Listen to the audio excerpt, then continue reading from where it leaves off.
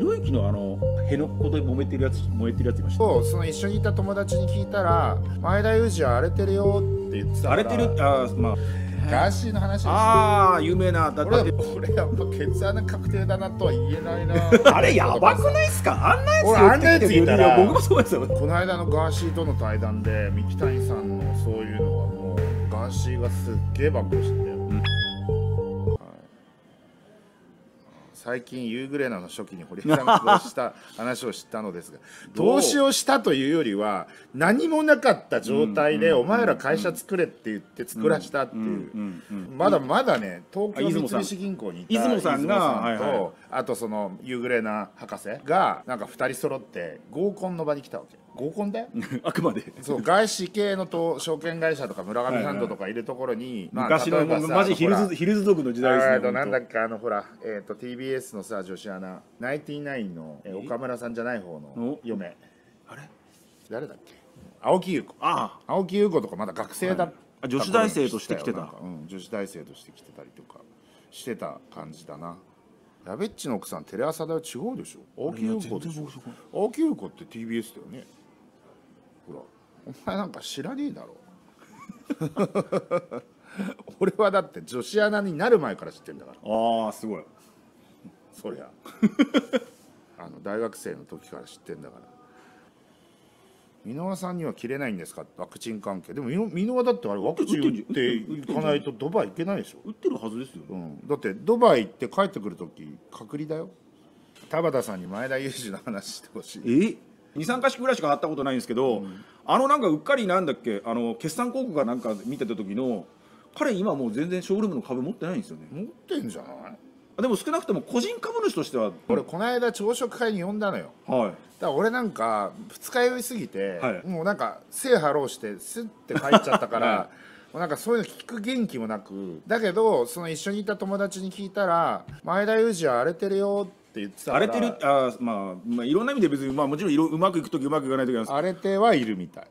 普通に考えたら3億円ぐらい債務保証個人保証してかつ株もゼロってめちゃくちゃきなんかキーな状況ですよね。奇妙な。これでもなんか来今てるな花束投げた奥野さんについてとかね。あの人何なんですかね。あれ。いやあれはだから NHK 党の立花さんもなんか格闘技業界の人たちもなんであの人お金持ってんのかわからない。銀座のクラブのオーナーとかなんか銀座の飲み飲み屋系のクラブのオーナーとか、でも出どころ確かに分かんないですよね。そうなんですよ。なんか銀座に会員制のクラブはやってるらしいよ、うんここにそれがメイウェザーが来たかったんだけど断ったらなんかブチ切れらそんれたみたいな。なにメディウェーザーが来たくなるようなすごいなんかなんかあるんですか？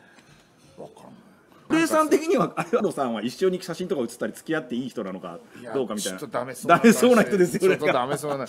松本人志と対談してほしい。全然いいですようん。全然面白そうだよ、ユージ荒れてるよ。荒れてるよ。わらわらいやいやそうそう。真相聞こうと思ったんだけど令和の虎について令和の虎とかやる人たちってさ何なの？あれ何なの、やっぱ見せびらかしたいんじゃない？だからなんか有名になりたいらしいね、んそのその奥野さんもそうだけど、うんうんなんか青汁とかもそうだけど、うん。エンリケとかもそうだけどさ。お金はあるけど有名じゃない有名じゃない人で有名になりたい人ってめちゃくちゃいますよね。そこそこお金はあるけど俺ほら有名になっちゃったから分かんねえんだよなその感覚が。うん本を出したい人とかもいるじゃん、でもそういう感じの人たちってすごい多いしあの自費出版みたいな本とか、でもさなんかさ私は商業出版をやりたいんですとかって妙に商業出版にこだわる人いるよね、うん。まあ、やっぱそこは大事な境目なんですよね。自費出版でいいじゃん。だって分かんないよ。だっていやわかんない。最近の自費費出版はわかんないです。分かんないよね、だってここで一つ佐野日奈子さんについてどう思う？下世話な話になガーシーの話ですよああ有名なだだって。俺は麻雀仲間だから、ね、あそうなんですか。麻雀打てるんですか？おっさん受けしそうです、ね、まいうまいうまいよ結構おっさまあん受けまあまあまあうまいよ 麻雀とかゴルフとか好きな女子ってなんか僕そういうすごいなんかおっさん票乃木坂辞めて例えば麻雀雀荘開いた人いるんですよ。中田香奈さんっていうんですけど。あちゃんとプロのライセンスも取ったんですよ。知ってる知ってるその人、うん、ちゃんとライセンスも取ってるからガチなん。でそれはそこら辺でまあなめんなよって言われるからちゃんと手順踏んだなと思ってるんですけど、スノーピークの話を。あれでも見たあのなんかその不倫男性の顔。相手のいや顔見てます。い A さんとか見ましたいやいやいやもうもう出てるよ。あのあなんか。スノーボーダーだったんだよね。だからスノーボーダーでなんかファッションブランド作った、ん。俺なんか多分会ったことあるんじゃないかなみたいな人だよなんか人脈的に言うと。割とイケメンですよあれなんか典型的に僕はブーメランだなと思うのは、ん。あの娘さんの社長の方を、ん。若いイケてる経営者みたいな風に前面に出して、めちゃくちゃメディアに出て出ちゃってるじゃないですか、ね。で社長っていうから実質的に切り盛りしてんのかなとん。思ってたら、結局親父がうちの娘がすいませんでしたやらかしましてみたいなうん。感じで首を取ったっていう構図じゃないですか、はいはい。で僕やっぱ彼女に頑張ってほしかったんですよね。あだって株主総会で大統領に選ばれてるわけですよ。だからプロキシーファイトでも何でもやってあれだ。そうそうそう。あの構図に持ち込んだ方がそれぐらいド派手にやってほしかったんですけどだって別に不倫も妊娠も別に経営者としての適性と関係ないじゃないですか。まあ確かにね。ね、なんかそこだけ急に親子の問題で肩ついちゃってなんかしょうもねえホームドラマとか渡る世間は鬼ばかりみたいななんかレベルの話になっちゃって。はい竹之内について。あああ僕はあの人やばいってずっと最初から言ってましたよみたいな。いの人カツラなの？やカツラはカツラらしいですよ。僕も知らんすけどよく。俺もなんか一回うちのお店でなんか俺とはい。マロっていうね、はいあの飲食店経営者で500店舗ぐらいやってたんだけど、コロナではい。上場してなかったからもう派手に個人保証を外すために、はい。もうただみたいな値段でファンドに株売ってまあ一応売り抜けたんだけど、もうプー太郎みたいになってるやつがいて、お前また屋台から始めようみたいなイベントをうちの店でやったのよ、はい。そしたらその時に大西潤というね、はい。バカがいるわけ、そいつがさ空気を読まず、はい。竹之内君連れてきたの。おおシャンパン開けますとかっつって開けるからまあ、無下にもできず、あそこら辺はじゃあちょっと売り上げ貢献しますみたいな。変になんか写真を撮っちゃったんだけど、ねえ。竹内君いや彼もでも典型的にお金はあるけど有名になりたい。有名になりたい。まあ今はなんかよくも悪くも有名にはなったと思うんですけど、名声を欲しいみたいなコンプレックスをすごい感じますよね。うん。はい三木谷さんについて 三木谷さんがああいうあの六本木のフィオリーナとかで、はい。後藤いやいろいろ。後藤花店の上の。結構そういうどんちゃかどんちゃかやってるっていうのはもう業界で公然の公然の秘密ですよね。で楽天のね、ん。文化として裸踊りっていうね、海外出張してる時に、うん。全然関係ないビジネスディナーだったんですよ、うん。だけど外人から、ん。ミスター三木谷はセックスアディクトって言われてるけど、あれは本当なのかとかって言われて。なんでこんなとこまでその話で届いてんだみたいな。そんなそそうかみたいな、いやアイドンノーって感じですけどでもすごい有名なもう半分公然の秘密みたいな感じでいやでもこの間のガーシーとの対談で三木谷さんのそういうのはもうガーシーがすっげえ暴露してたよ、うん有料でやったやついや俺も見てないですけど大体大体は想像つくんですけどすごいだって僕謎だったのはだからあんだけある意味公然の秘密みたいになってんのに、ん今更急になんででもねそういうのってどこかでぶつけようとするわけ、はいはい。例えば乙武さはい。んが都知事選に立はい候補するぞって言った瞬間に、うん。もう下半身のあれがボーンって出たじゃうん知ってんじゃんそんなのあの人がうんそうやって遊んでるのとかうんもうみんな公然の秘密みたいになってたからええだって乙武さんってこういう人だよって俺全然驚かなかったのにやっぱみんな五体不満足の乙武少年なんですよ。ああそう純真無垢な重心成人君子。成人君子なんですよ。だから三木谷さんも多分世の中の大半の人たちは成人君子なんですよ。でも僕もやっぱり三木谷さんってどう見ても孫うことなき成功者じゃないですか、ん。で一橋出てね工銀入ってハーバードで MBA 行って、ん飛ぶ鳥を落とすよりって一点の曇りもないスーパーエリートのはずなのに、なんか三木谷さんもコンプレックス感じますよね勝手な僕のこれ印象ですけどいやーそうらしいよ。うん。なんか俺はもっと尊敬されて叱るべきだっていう。あああるね。でいや分かるしいやなんかあのスーツって弁護士ドラマ知らないですか？あーはいはい。れの、うん。ルイスっていう屈折した、なんかそれっぽいんですよね。なんかでもある意味分かりやすい人だなっていうふうにも思います。そういうふうに思うと。確かに。あでもそうやって三木谷さん三木谷さんってああいう人をすごく喜ぶんだってだからだってでもあれやばくないっすか？あ。んなやつ俺あんなやついたらや僕もそうですよ。俺の前にライブで会って入れ墨したやつがクビにするよね。そうそうでしょ。それも普通やばって思う。そんなに寂しいのあなたって思いますよね。そんなんで喜ぶなんてバカ殿様っていうか、裸の王様でだってことじゃないですか？あ白人コンプレックスがあるああなんかだから白人女性をこうねそういう感じにするとコンプレックスを晴らせるってことかハーバードでモテなかったんですかねなんか。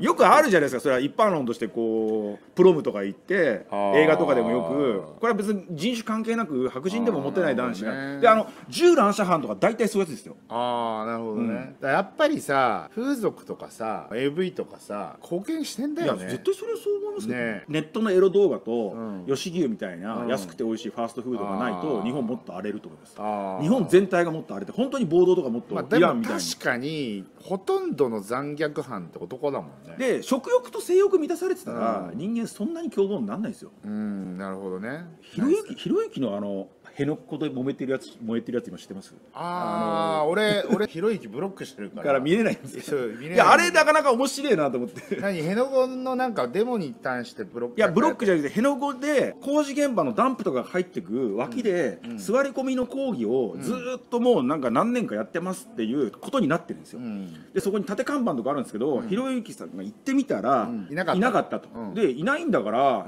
座り込み何百日継続中とかって言ってんだけど、いないんだからゼロでいいんじゃねえのみたいなうん。ことを言ったら、今その左系の人たちから、今もう大炎上っていうか、うん。しててちゃんと朝9時と昼の12時と15時には座ってるんですみたいな。えってそれ座り込みじゃなくないですかみたいな。めんどくせえ。あの人ってさそういうくだらないことの茶化すの好きだよね。いやでででもそその相手をイラッとさせる茶化し方完璧じゃないですか、うん。天才じゃないですか、うん。だから今すっごいもうそっちから怒発手のつく勢いでん。怒ってるんですけど、まあ世の中的にはまあ確かに座り込み何百日継続中って言ってるのにいない時点でおかしいよねってみたいな感じなんで僕もまあそう思いますけど、ねまあどうでも。まあ確かにどうでもいい。いやだからなんでひろゆきをブロックしてんですか仲悪いのって知らないの。本当にさ。まあでも世の中狭い。の本読みました。読むわけないじゃん だってさ、大体書いてあること想像できんじゃんね、それは俺の本もそうだけど僕まああれはコレクターズアイテムなんだからさ ファンアイテムみたいなもんだから。血穴確定について。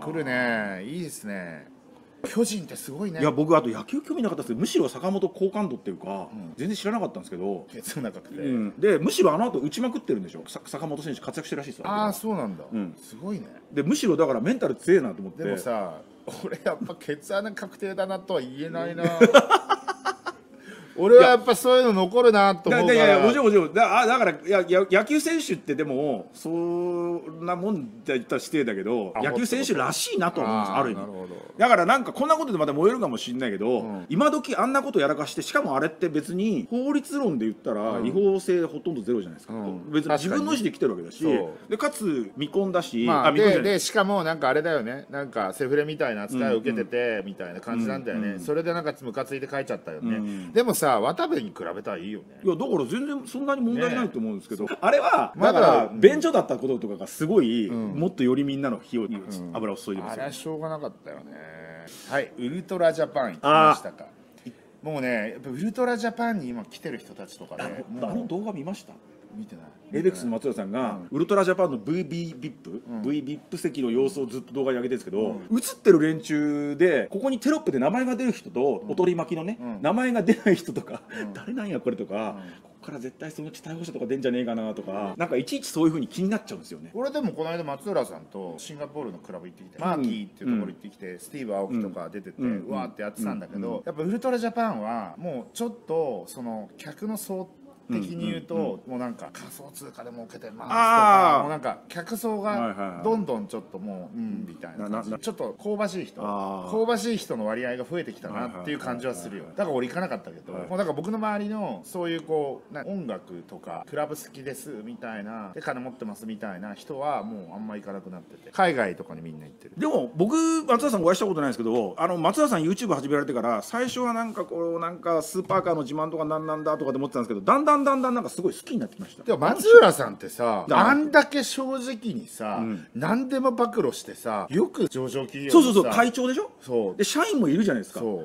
う。れでよくあれできるなと思って。すごいよね。すごいと思いますヒカキンについて。ヒカキンも大変。だよね。まあせ成人君子みたいなのあれこそ求められてますよね。ねでスキャンダル出る前のおあの乙武さんみたいじゃないですか。いやーだからどうすんだろう。でもヒカキンもさ俺さヒカキンが最初に本書いた時って、うん帯書いたの俺だから、ね。はいあそうなんですか？そうだよ。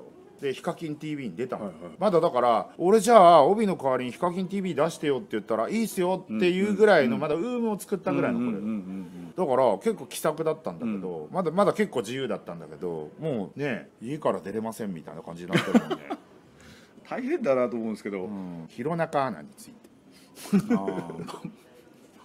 まあでも上場した直後に結婚するっていうのはまあよくあるあれですよね。財産分与の時にっうんていうあそういうことかみたいな。それぐらいですけど、ねそうだよね。でも株価上がったら大変だよ。でも僕あれでプログリッド有名になりますよね。でもね、はい。プログリッド今株価低いじゃん。この後業績が良くなって、はい。プログリッドの株価10倍とかになったら、弘中ちゃんはまあだってそれは大女のこうってやつで正当なあれだから分かんない。でも大変だよあれだよ彼女の知名度でユーザー増え藤るか田もしれない。進は大変だったんだぞその後 藤田進はサイバーエージェントの株価がもうお前死にそうになってる時に結婚してさその後上がったから。その手の話はね一般人全く共感ないんですよ。大変だよ。払えよ大変だったらしい。払えよまあまあまあそうなんだけどでも大変だったらしいよっていう